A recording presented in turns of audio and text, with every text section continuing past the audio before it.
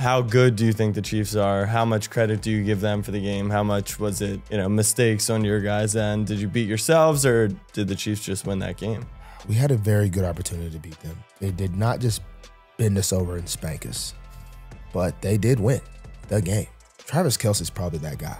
I'm not even talking about from a football perspective. I mean, you got Taylor Swift kissing her crap. They look like they're a real thing.